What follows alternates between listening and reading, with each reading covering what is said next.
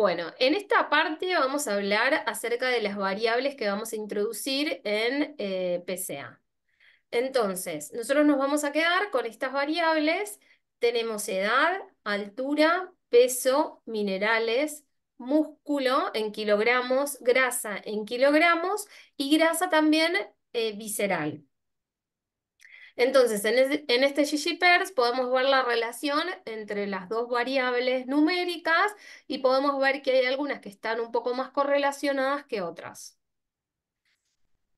Así que hicimos este gráfico, que es el GG eh, Core Plot, donde también podemos ver lo mismo y podemos ver que los minerales con el músculo están altamente correlacionadas, al igual que la grasa visceral con la grasa, eh, con la grasa en kilogramos, y después tenemos algunas que no están o están mucho menos correlacionadas, como las que están en blanco, que sería la altura y la grasa, tanto visceral como la grasa, grasa total, y también la edad con los minerales y los músculos.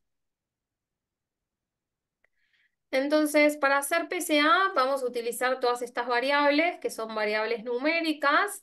Primero lo que vamos a hacer es entrar a la base y también estandarizarla, porque hay distintas, eh, distintos... Em, eh, magnitudes. magnitudes de, de, medición, así que vamos a hacer estas dos cosas y vamos a utilizar el código PRINCOM. Entonces este es el resumen de los componentes principales, tenemos siete componentes, podemos ver cómo disminuye la variabilidad, los desvíos estándar a medida que van aumentando los componentes, y después podemos ver la proporción de variabilidad explicada por cada componente. En el caso del componente 1 explica el 55%, el componente 2 el 28% y el componente 3 el 11%.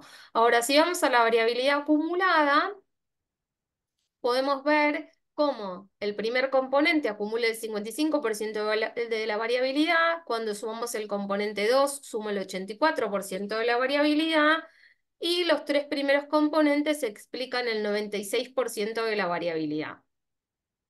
Entonces, en este gráfico vemos algo similar a lo que mostramos en números anteriormente, vemos cómo la variabilidad va disminuyendo y que está explicada principalmente por los tres componentes. Cuando vemos este screen plot, también, pero bueno, que por ahí se, ve mejor con, con las líneas, lo que podemos ver también es que la variabilidad está explicada por los primeros tres componentes y que, bueno, eh, capaz el codo se hace ahí entre el 3 y el 4. Ahora vamos a analizar los loadings.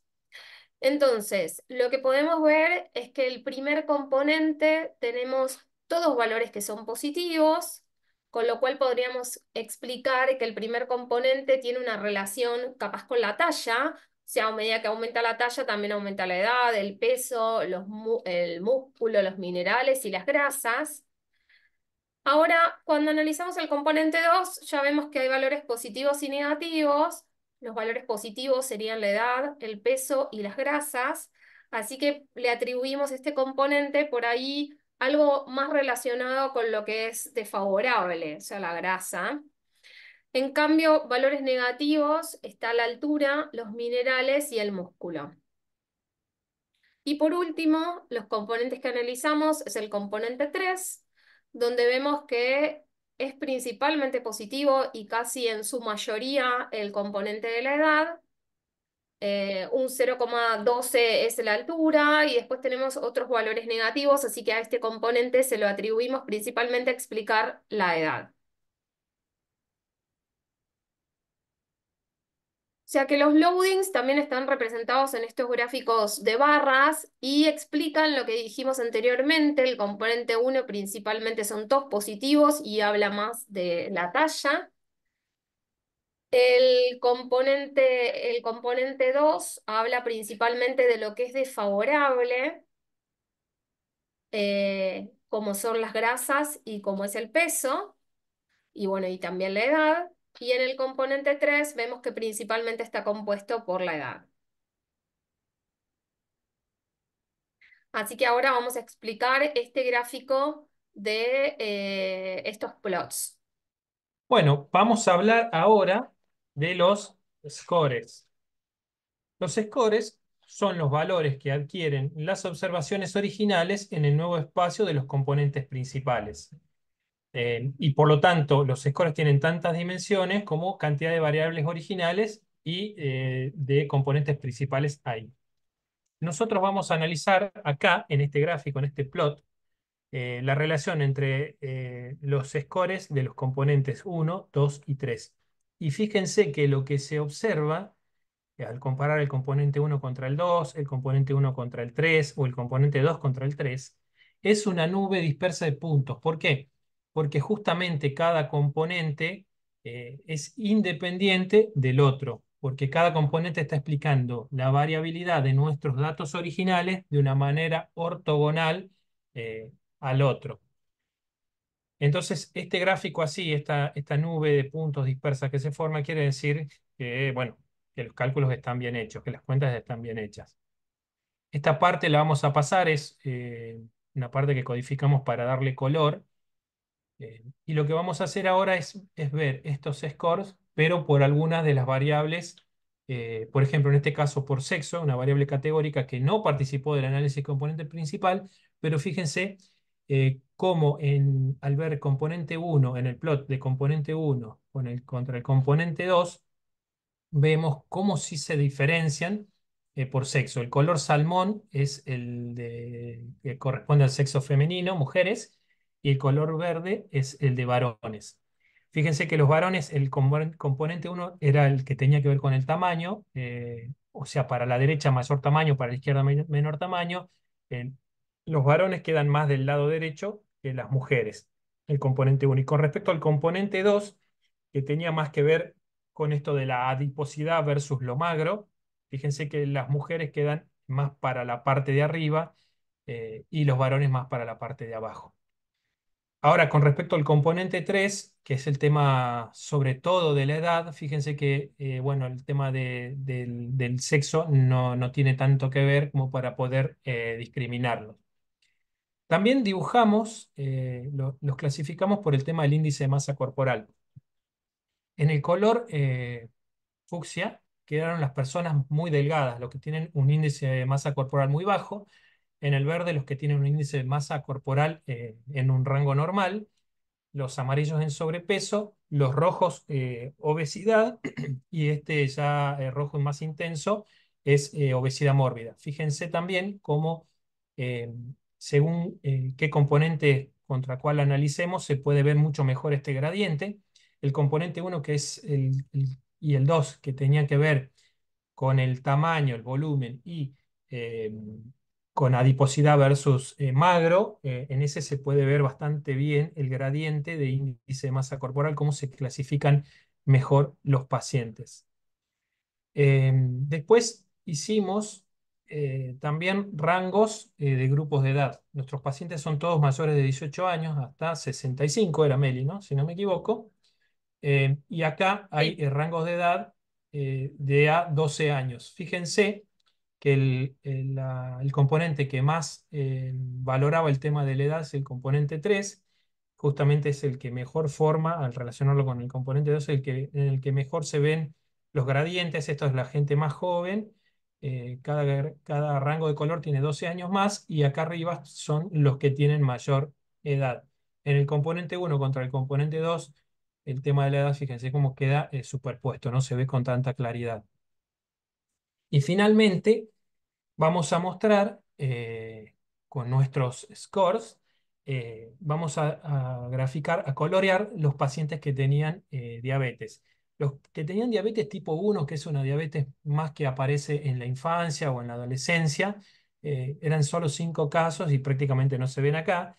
Y los rojos son los que tienen diabetes tipo 2, que son los que están eh, más relacionados con el exceso de peso, ¿bien? Eh, con tener mayor cintura, eh, con, la grasa visceral. En, el componente, al comparar componente 1 y contra 2, no se ve tan bien la diferencia en la nube de puntos, pero acá fíjense, componente 2 contra componente 3, los que tienen este color verdoso eh, son los que no tienen diabetes. Los grises es ese conjunto, subconjunto de datos que le habíamos avisado que teníamos, que, que tenían datos ausentes con respecto a este antecedente.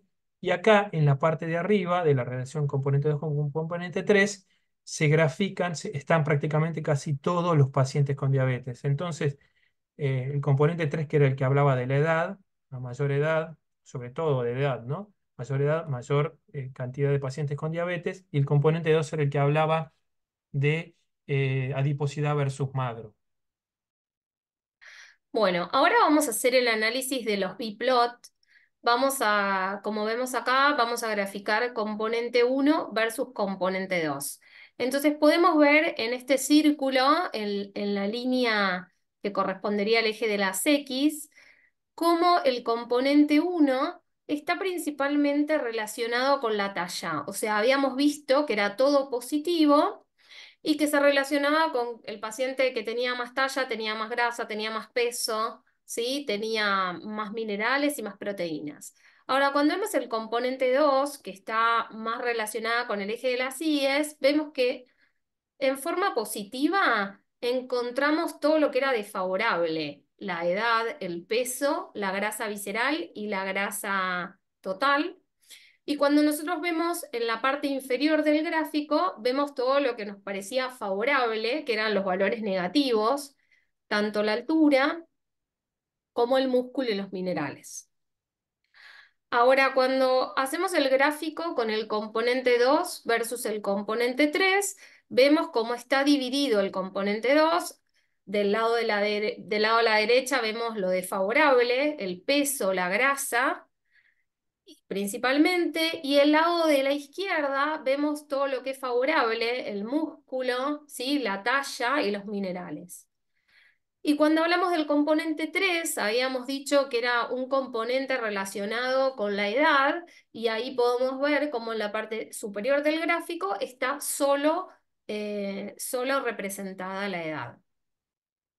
Bueno, vamos eh, ahora a ver la distancia de Mahalanobis. Hicimos este gráfico para donde se calculó y se, ploteó la distancia, y acá tenemos algunas observaciones eh, que, están bastante lejos del resto. Cuando analizamos estas observaciones, eh, ¿de qué se tratan? Fíjense que son justamente las personas que tienen bastante peso, 191 kilos, 187 kilos, o tal vez no son tan, tan pesadas, pero en su relación con la altura, 127 kilos, pero mide 153, bueno, está hablando también de una relación peso y altura eh, bastante desfavorable. O sea, estas personas que están acá lejos en la, del centro de los datos, estas son las personas eh, más grandotas, que al tener más peso también tienen más, eh, muchas tienen más masa muscular y tienen más grasas, tanto grasas totales como grasas viscerales. Bueno, eh, estas observaciones también las eh, incorporamos en, los plot, en los biplot. Fíjense, componente 1 que hablaba de tamaño y el componente 2 que hablaba de lo adiposo versus lo magro. Y fíjense dónde se ubican estas. Acá estamos graficando solo las 5 más desfavorables, más, más lejanas, las que tienen mayor distancia. Eh, en el componente 2 versus el 3 también, graficados acá del lado de la adiposidad. Y este es el gráfico del 1 contra el 3, en donde también al mayor volumen, pero no necesariamente son las que tienen mayor edad. ¿bien? Tiene más que ver esta distancia con el componente 1 de mayor tamaño y el 2 de mayor adiposidad.